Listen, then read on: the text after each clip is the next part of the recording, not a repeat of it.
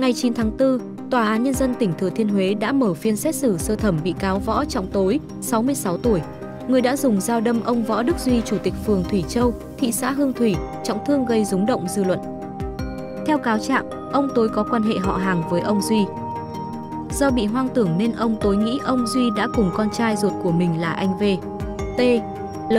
34 tuổi, chiếm đoạt quyền sử dụng đất của gia đình. Sáng ngày 15 tháng 5 năm 2023, ông Tối đến phục trước cửa nhà ông Duy để chờ ông này chạy bộ thể dục về. Thấy ông Duy không đề phòng, ông Tối cầm dao xông tới tấn công nhiều nhát vào vùng bụng khiến ông này trọng thương. Sau khi giám định, ông Duy bị tỷ lệ thương tật 69%.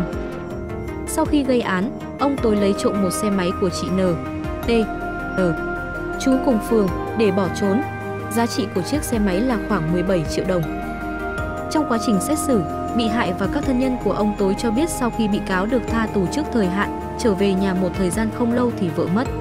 Sau biến cố này, mọi người đều nhận thấy ông tâm tính thay đổi khác thường. Tại phiên tòa, các bị hại không yêu cầu bồi thường và mong tòa xem xét cho bị cáo mức hình phạt thấp nhất vì bị cáo là người đã lớn tuổi, có hoàn cảnh khó khăn, bị cáo bị hạn chế về năng lực nhận thức và hành vi. Hội đồng xét xử đã xem xét các đề xuất của đại diện Viện Kiểm sát Nhân dân tỉnh và nhận thấy khả năng nhận thức, điều khiển hành vi của bị cáo bị hạn chế nên đã tuyên phạt Võ Trọng Tối 5 năm 6 tháng tù về tội giết người và 6 tháng tù về tội trộm cắp tài sản. Tổng hình phạt mà bị cáo phải nhận là 6 năm tù.